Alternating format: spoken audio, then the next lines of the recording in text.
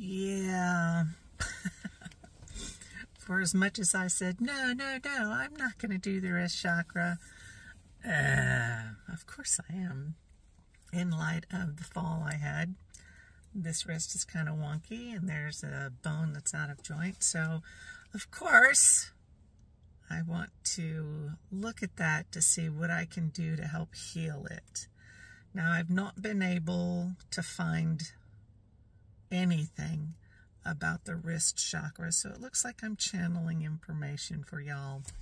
Wee! um,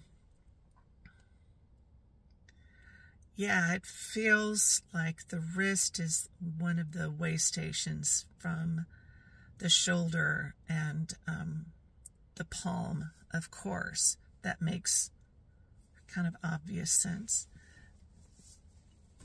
because, well, it's it's along it's along the arm. So, yeah, I guess y'all get to see me process this. Lucky you. So, when your hand chakras are blocked, creativity is blocked. You're not able to do the things that bring you joy. Um, and that's for whatever reason. You know, I don't draw because at eight I said, no, I can't do that. And so that blocked the, the chakras. And I've been able to unblock my hand chakras through working with Reiki and other energy modalities. Um, never had that confidence, though, to, to go and do it, that kind of drawing artistically. Okay, got that. We worked on the shoulders, and you know, when I did the shoulder blade chakras, that it shifted a whole lot of the energy there to the point where my massage therapist noted it. So we've looked at the elbow because it's this thing, and now looking at the wrist, a healthy wrist allows for more expression, a lot more mobility, um, and flexibility. And emotionally, I feel, yeah, because folks who talk with their hands, they, they use their hands a lot, as you can see I do. And it's also been uh, a means by which I do some of my light language. So what happened here was that I landed on my, I used my hands to stop my fall. Okay. And so I did it over here on the side so it wasn't full on. So my body was kind of protecting me. There are other ways it could have, and that would have resulted in other problems. So I'm going to um, like sit here and, and send energy during the light language to this wrist to help it heal so that I can continue to express myself in ways that are kind and loving, particularly to myself.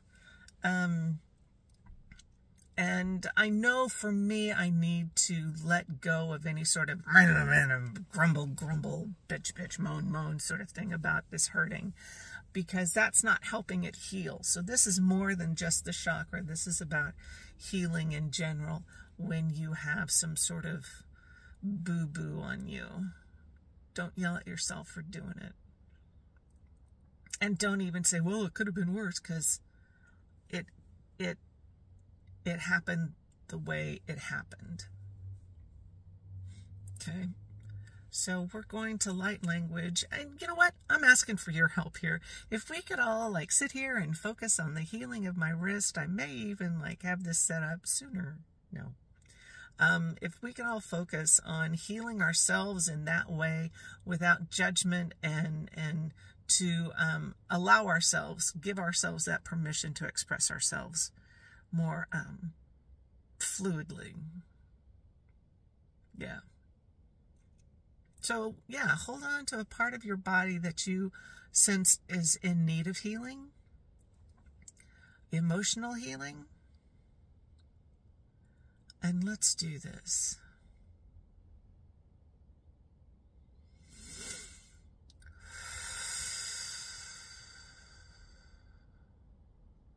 You can feel the energy flow through you.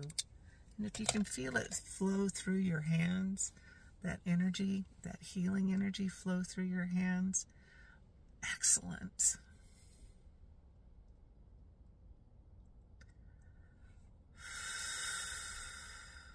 There you go.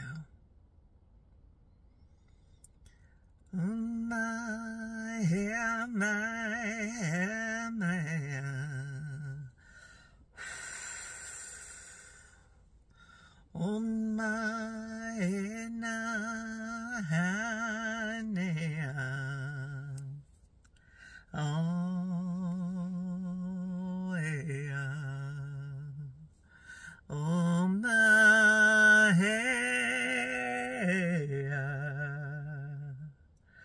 oh me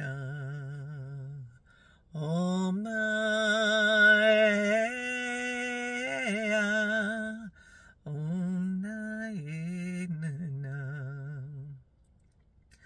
Homanehema, Dumbarahema, Homanehena, Dubarame,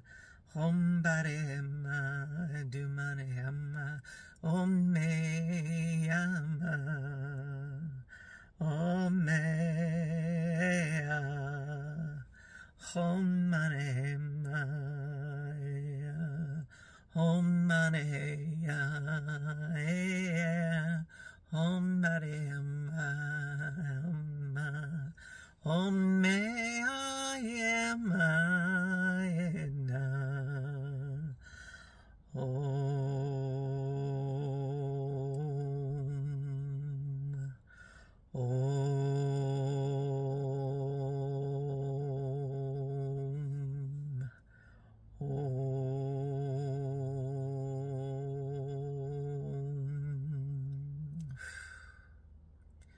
we send this energy through to help us regain alignment with our higher purpose in our physical and our emotional. I did release some emotions during this. My eyes are beginning to water. So I thank you for holding space for us, for me, and for yourself. Hombere meha naha menaya. Thank you. I love you.